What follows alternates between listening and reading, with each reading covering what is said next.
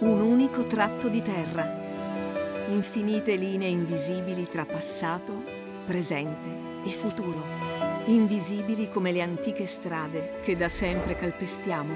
Invisibili come le orme incise nei secoli da pellegrini, conquistatori, aristocratici e briganti. Invisibili come artisti nascosti dalla loro stessa tela invisibili come gli orizzonti delle mille Italie che compongono la nostra Italia.